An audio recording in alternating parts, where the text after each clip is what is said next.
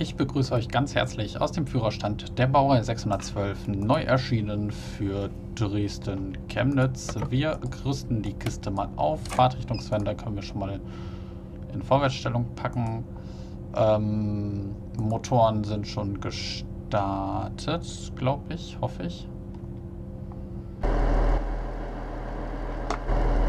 Ich meine schon. Oder? Bin mir jetzt gerade nicht ganz sicher. Start. Start. So, wir stehen mal einmal ganz kurz auf und laufen mal durch den Fahrgastraum.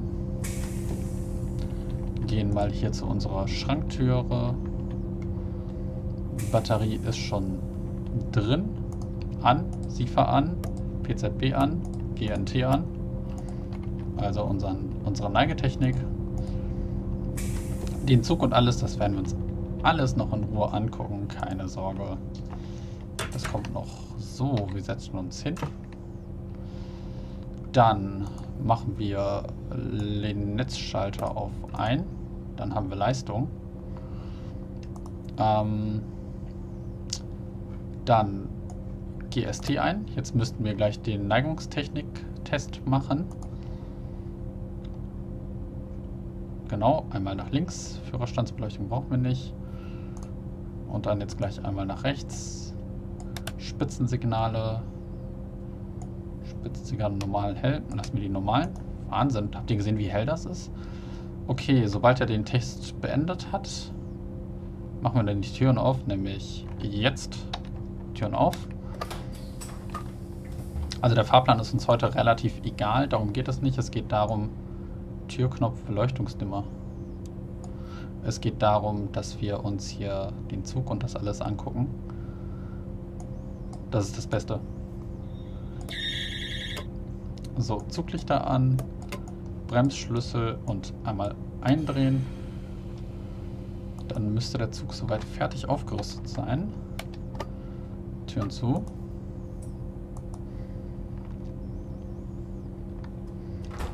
Und wenn wir alles richtig gemacht haben, müssten wir Leistung aufschalten können.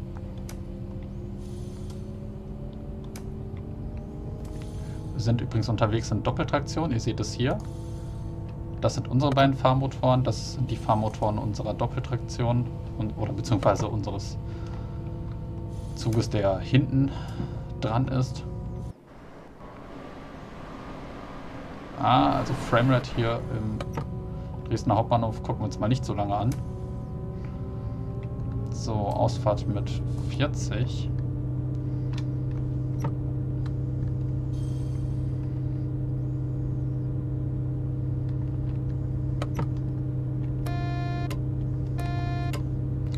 Befreien wir uns und Leistung weg.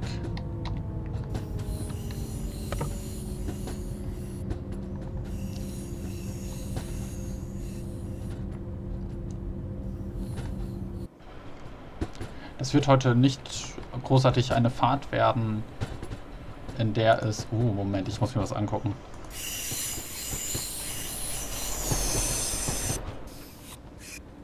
Da ist er, der Intercity mit der 182er. Ja, sehr, sehr cool. Love it. Also das wird keine Fahrt werden, in der wir uns großartig an den Fahrplan halten oder sonst irgendwas sondern es geht darum, dass wir einfach die Strecke erkunden, den Zug mal austesten. Und das alles machen wir hier mal in Ruhe.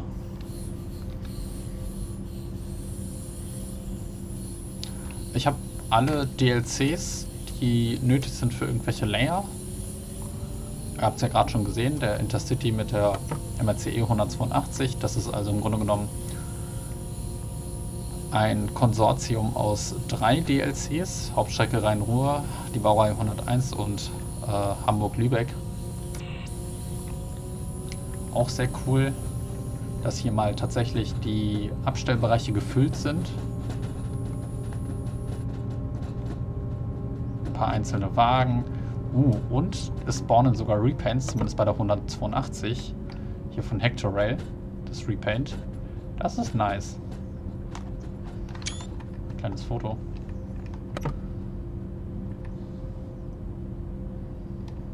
So.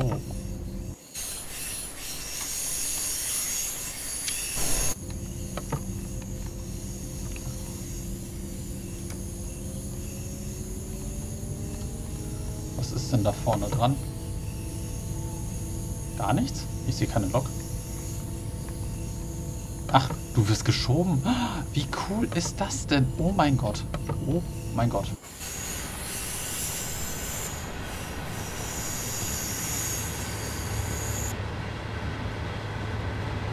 Wie genial ist das denn bitte?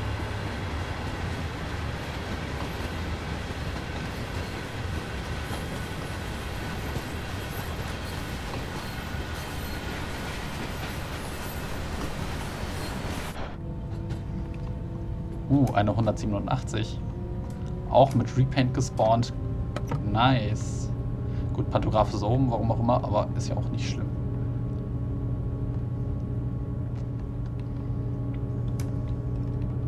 Hier haben wir schon ein äh, Ringlokschuppen.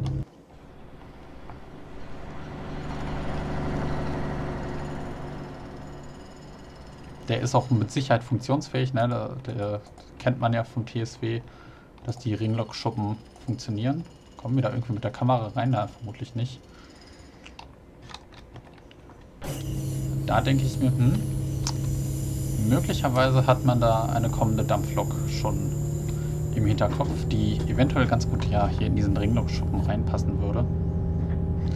So, wir äh, sind hier sehr trantütig unterwegs. Ähm, übrigens, mittlerweile ist auch schon die Neigetechnik aktiv. Wir sehen, wir dürfen 80 km/h fahren. Und als nächstes, wann genau steht hier nicht, aber als nächstes dürfen wir dann 90 km/h fahren. Während wir hier an Dresden-Plauen vorbeifahren. Oh, schön gemachter Bahnsteig.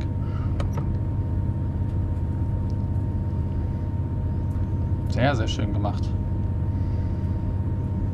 Und jetzt hier ordentlich in die Kurve rein.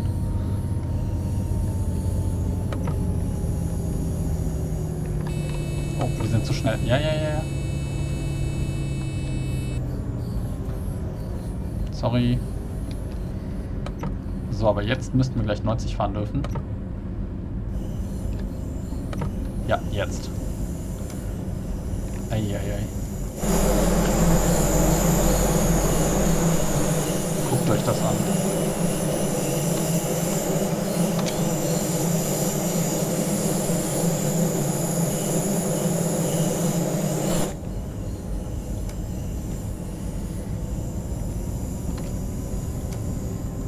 Also es sind ja einige Premieren hier, die wir jetzt gerade feiern.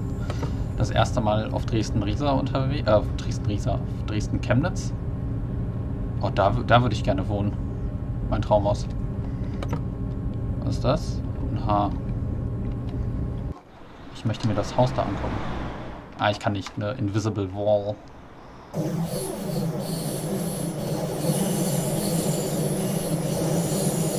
Also nein, das nächste Mal auf das erste Mal auf Dresden Chemnitz, das erste Mal in einem Dieseltriebwagen, das erste Mal in einem Fahrzeug mit Neigetechnik im TSW. Also, nice Sache. Und die erste Strecke, die die Raypool 185 mit dabei hat. Äh, wir beschleunigen mal auf 110. Eigentlich können wir, solange die Neigetechnik aktiv ist, komplett ohne HUD fahren. Mehr oder weniger. Was ist das?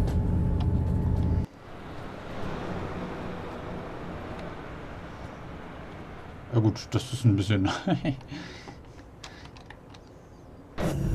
So, aber es geht halt darum, ne, wir gucken uns heute die Strecke an, wir gucken mal an, was ist gut, was ist nicht so gut, was ist schön. Das hier ist zum Beispiel sehr, sehr schön.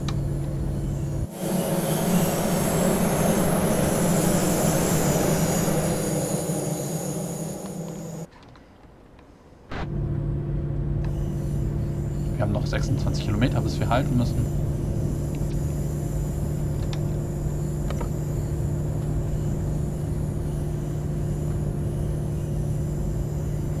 Das, das fühlt sich so ein bisschen an wie Fliegen, muss ich sagen.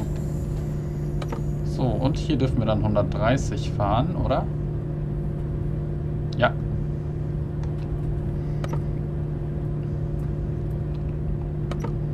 Also Leistung noch ein bisschen hoch.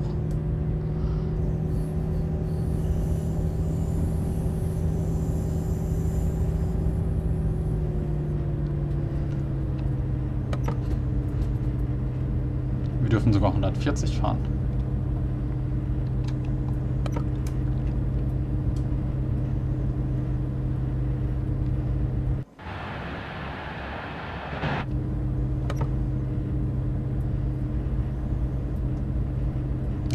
Die Berge sind ganz hübsch gestaltet, muss ich sagen. Looking at you, Arosa.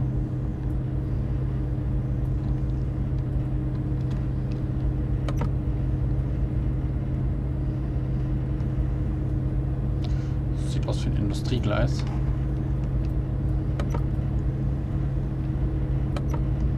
Hier noch mehr Industrieanschlüsse. Interessant. Ja, Tatsache. Ja, uh. Weg da. Karte.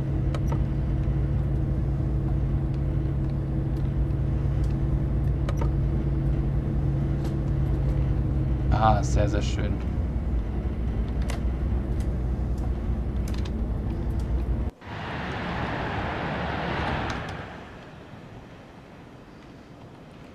Mit ausgestaltetem Interieur. Oh, ich liebe es. Gucken wir uns mal in einer gesonderten Folge genauer an.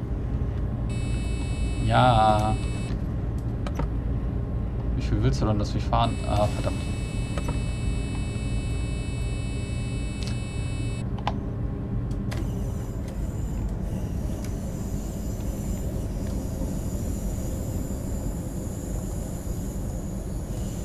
Come on.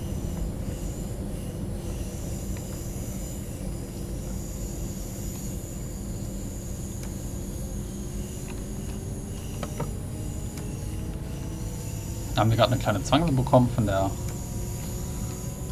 Neigetechnik, von der GNT. Guck mal, wie schön.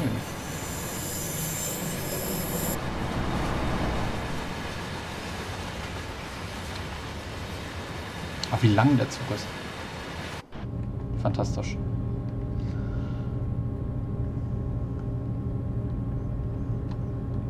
Es war bewusst mit der äh, Zwangsbremsung.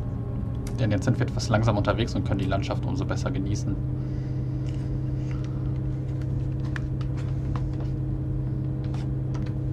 So.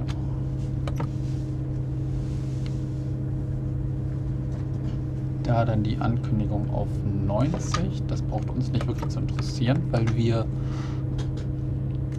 100 fahren dürfen in dem Abschnitt, wo dann 90 freigegeben sind. Also gehen wir jetzt mal hoch auf die 100.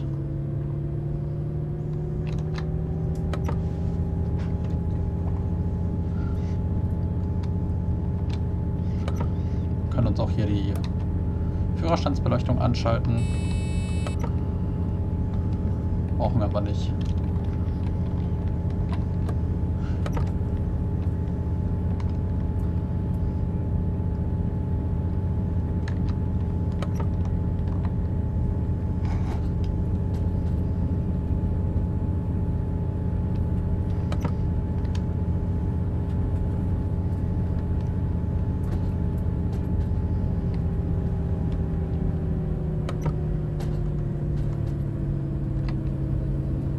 Ankündigung auf 60.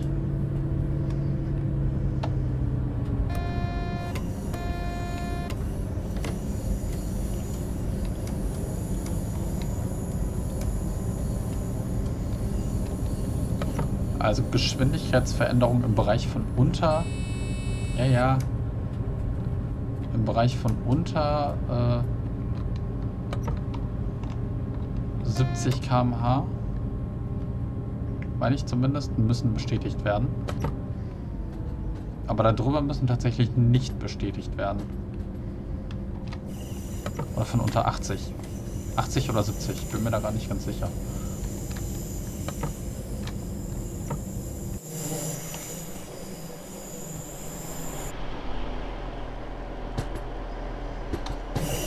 Kleiner Riss in der Welt.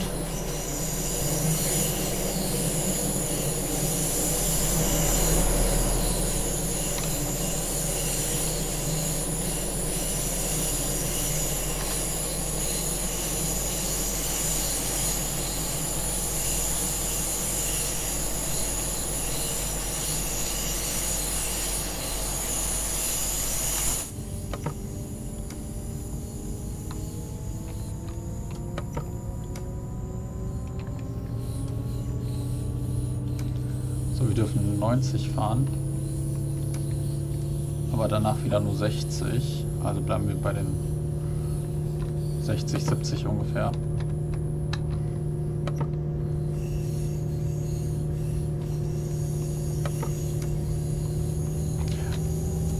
Also von der Steuerung her im TSW identisch wie die Foslo G6 von TSG.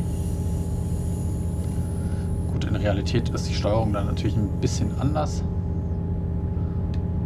Aber für den TSW jetzt gesprochen ist die Steuerung wirklich genauso wie bei der Foslo G6.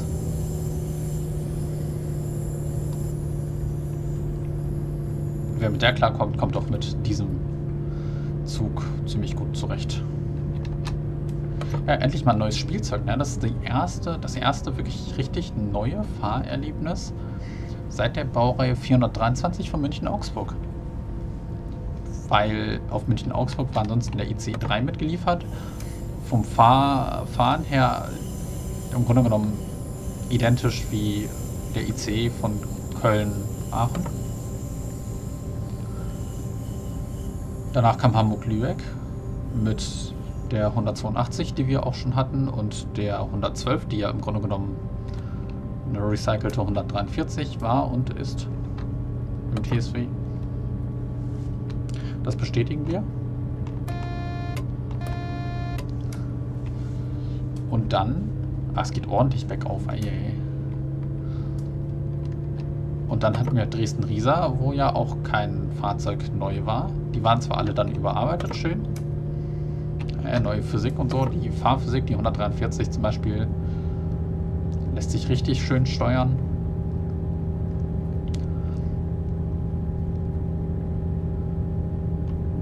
Die 185 überarbeitet etc. Aber eben kein komplett neues Fahrzeug. Und das hier ist jetzt das erste, wirklich nach einem Jahr oder so, locker fast einem Jahr, ein Dreivierteljahr das erste richtig neue Fahrzeug.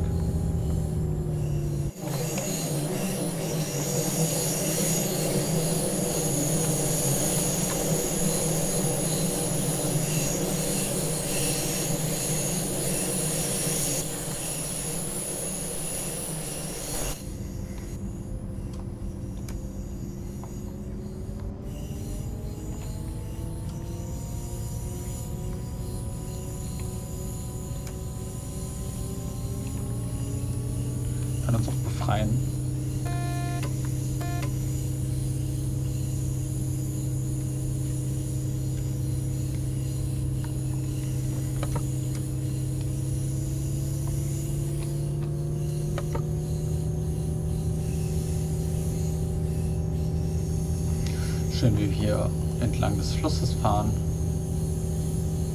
Das ist wirklich eine schöne Strecke.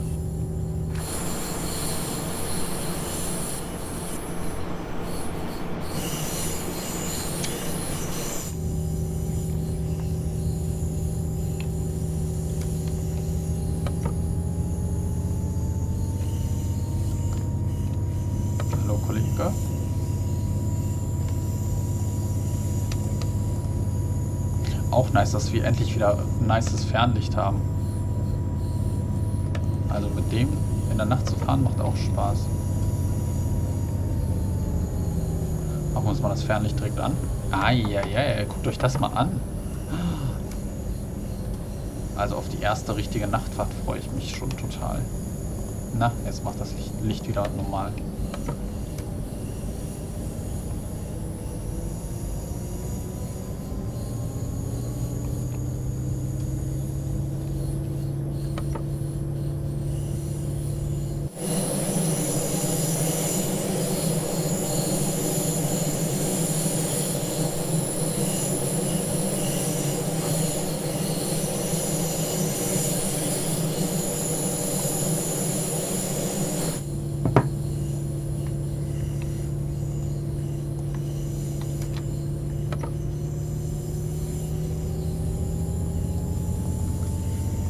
Auch schön, dass sich das hier tatsächlich das Display hier drin spiegelt.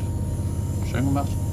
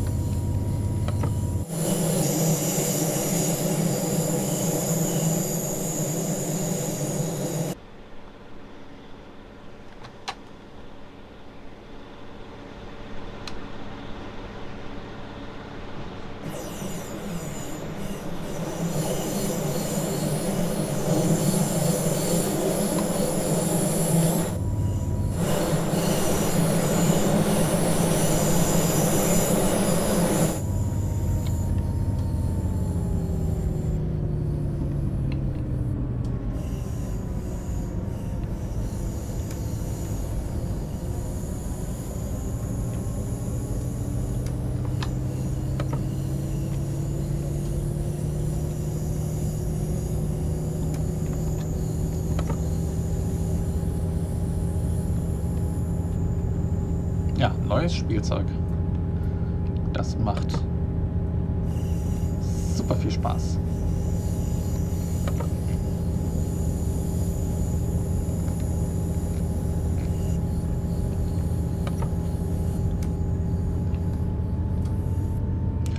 Kilometer Luftlinie noch bis Freiberg in Sachsen.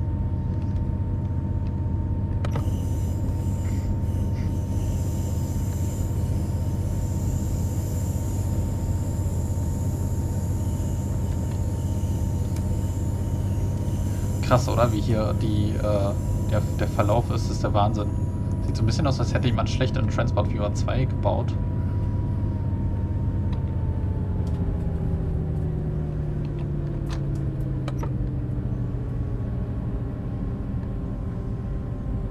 Gibt mir so ein bisschen Rhein-Ruhr-Osten-Vibes, nur dass es hier gewollt ist und bei Rhein-Ruhr-Osten... Nur, dass es hier akkurat ist und bei Rhein-Ruhr-Osten war es mehr... Ja sprechen wir nicht darüber.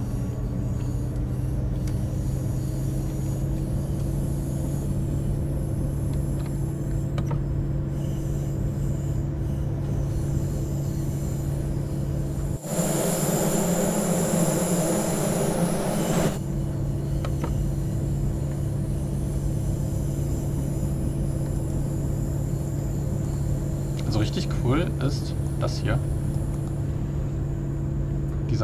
elektrische Schalter für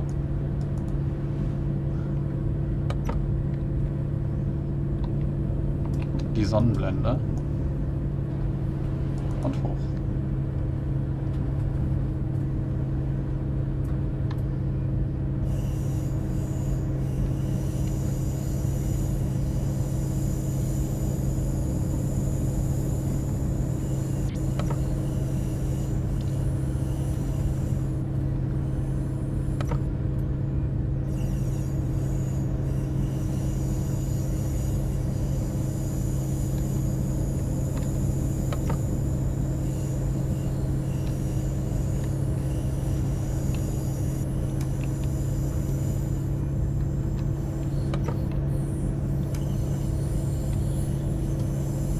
Traut sich gar nicht so schnell zu fahren hier in diesen Kurven.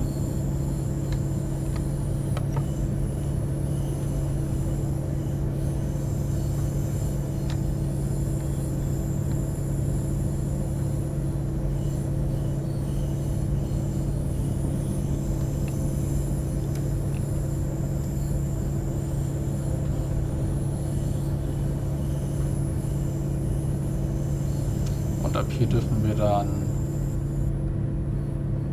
100 fahren.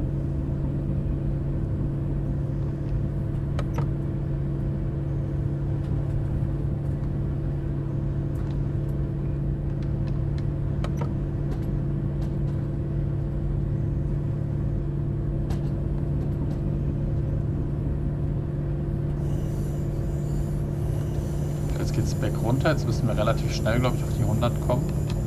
Also ein bisschen Leistung zurück. So, jetzt 100 haben wir erreicht. Leistung komplett auf Null setzen.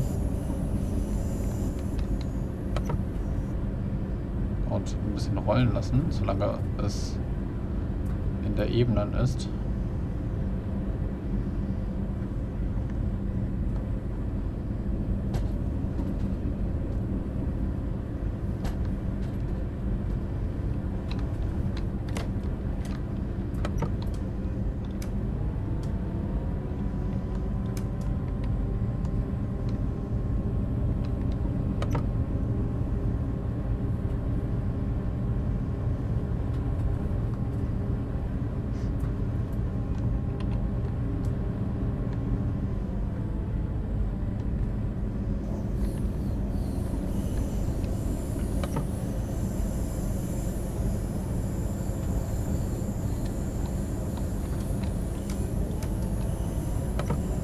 Bahnübergang hier. Ungesichert. Warum hier keine Pfeiftafel war, ist mir ein Rätsel.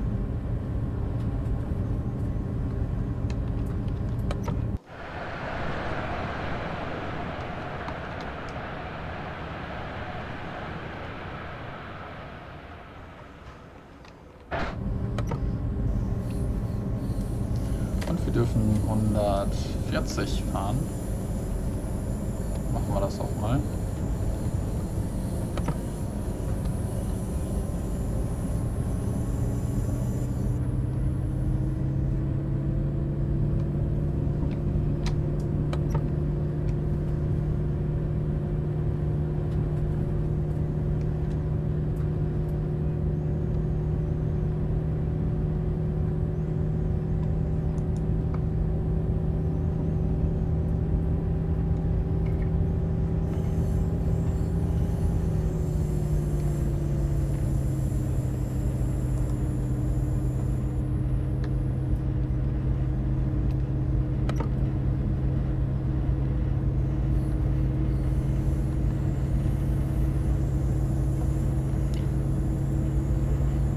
Haben jetzt gleich die 140 erreicht. Nämlich jetzt. Hey, schnell runter, runter, runter, runter. Keine Zwangsbremsung.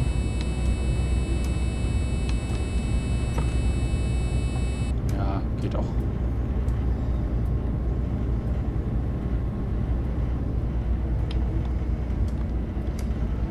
So, Ankündigung auf 100. Wir ordentlich in die Bremse.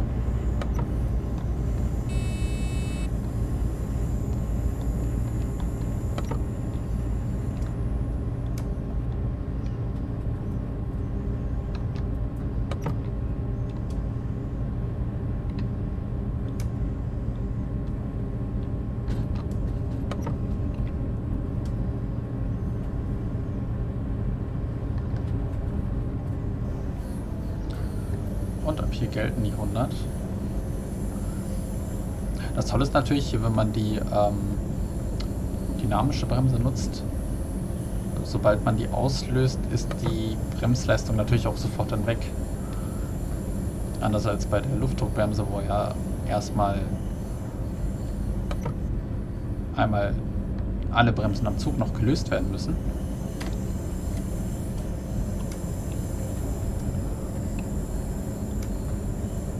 Und bei der E-Bremse haben wir halt direkt die Bremsleistung weg. Heißt also, wir unterschreiten nicht wirklich stark die Zielgeschwindigkeit, sobald wir sie erreicht haben und dann die Bremse lösen.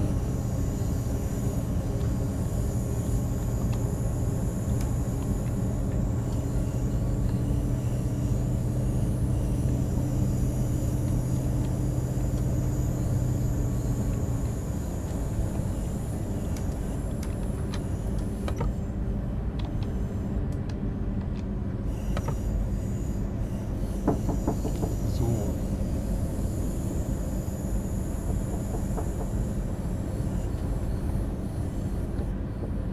Okay, und dann haben wir ungefähr noch 5 Kilometer.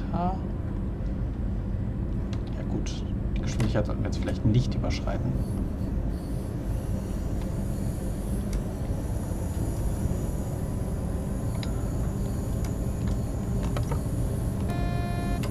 Okay, mussten wir nicht bestätigen. Wir dürfen gleich 80 fahren, also bremsen wir ganz leicht.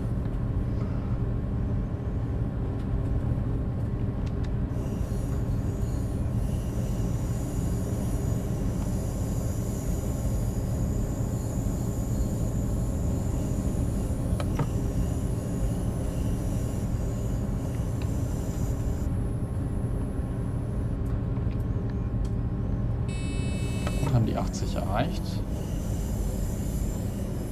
Fast.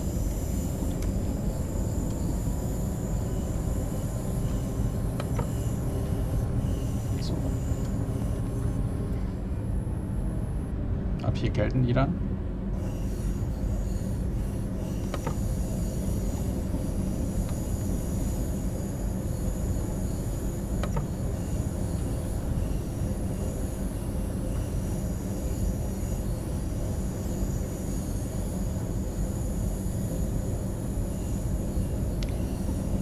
Wahnsinn, was sind das denn für hohe Türme?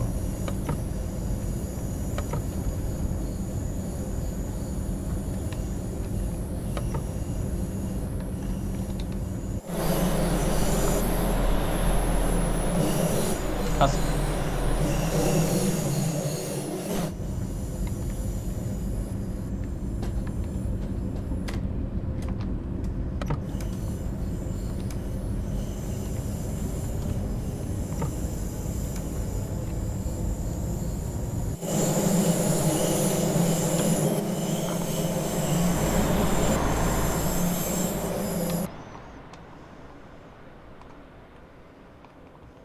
Sehr, sehr schön. So, die 80 haben wir noch nicht ganz erreicht, also noch ein bisschen Leistung drauf.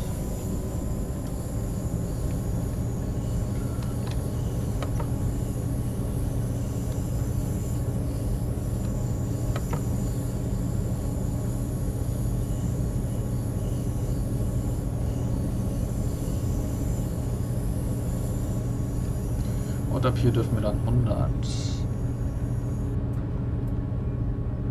Genau. Sehen wir da rechts an dem Display. ES-Profil 100.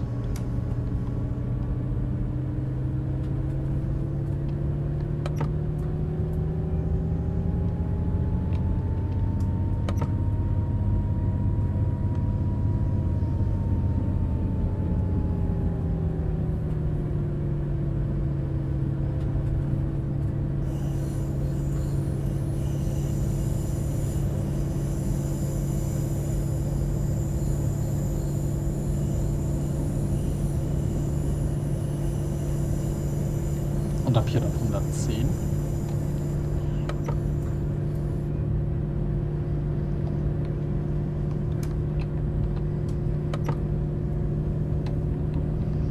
Müssen wir dann denken, an 1,5 Kilometern in Freiberg dann zu halten.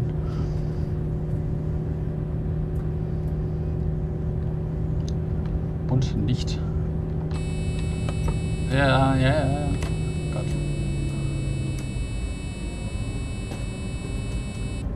Sorry. Vielleicht sollten wir jetzt mal langsam die Bremsung einleiten. Und wenn ich sage langsam, dann meine ich damit eher schnell als langsam.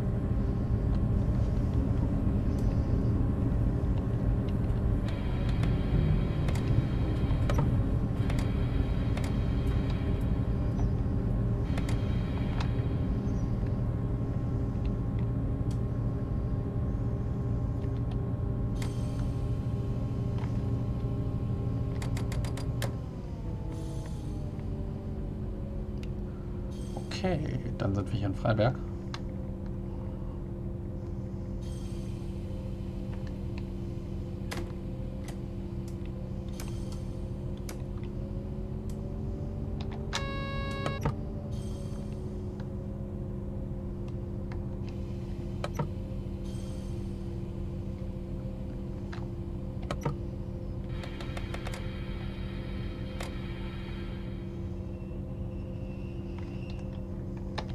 Turn off.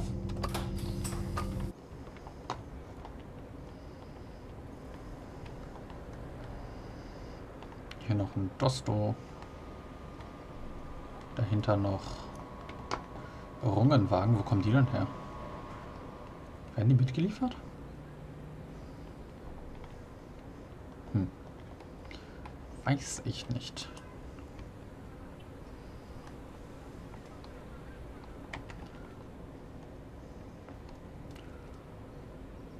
So, gucken wir einmal kurz mal auf die Karte drauf.